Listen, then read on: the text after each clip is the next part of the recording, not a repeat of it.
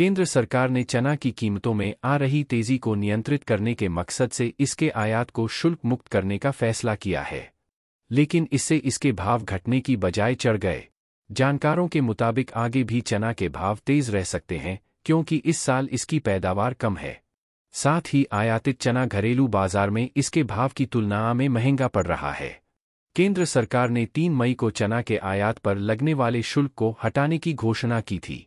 जिसके चलते दिल्ली में 4 मई को चना के थोक भाव 6,350 से 6,400 रुपए थे जो आज बढ़कर 6,650 से 6,700 रुपए क्विंटल हो गए। इस दौरान महाराष्ट्र की अकोला मंडी में भी चना के भाव 300 रुपए चढ़कर 6,450 से 6,550 रुपए क्विंटल हो चुके हैं। सरकार ने आयात शुल्क चना के भाव कम करने के लिए हटाया था लेकिन चना के दाम घटने की बजाय बढ़ गए। India pulses and grains association के सचिव सतीश उपाध्याय का कहना है कि सरकार ने भले ही चना के बढ़ते भाव पर अंकुश लगाने के लिए इसके आयात को शुल्क मुक्त किया हो, लेकिन अब तक इस फैसले से चना के भाव घटे नहीं है, बल्कि इसके दाम आज ही 100 से 150 रुपए क्विंटल चढ़ गए। आयात शुल्क हटने के बाद भी चना महँगा होने की वजह इसका उत्पादन कम होना है। चना के उत्पादन का सरकारी अनुमान 120 लाख टन है। लेकिन उद्योग का अनुमान 80 लाख टन का है, जबकि चना की खपत करीब 100 लाख टन है।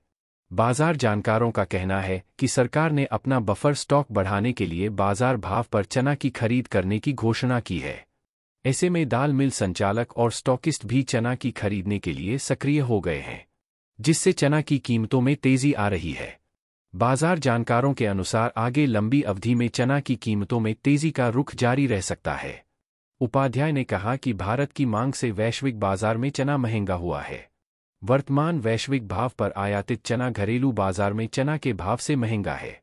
इसके साथ ही भारत में तंजानिया से चना का आयात अगस्त के बाद ही होने की संभावना है। ऑस्ट्रेलिया से भी चना का आयात नई फ़सल के बाद नवंबर से होने के आसार हैं। ज़ाहिर है, फ़िलहाल चना के आयात की ज़्यादा संभावना नज़र नहीं आ रही है। ऐसे में आगे चना की कीमतों में तेज़ी जारी रह सकती है। कारोबारियों के मुताबिक चना के भाव आठ हज़ार रुपये से दस हज़ार रुपये क्विंटल तक जा सकते हैं। Bureau report, market, Times TV.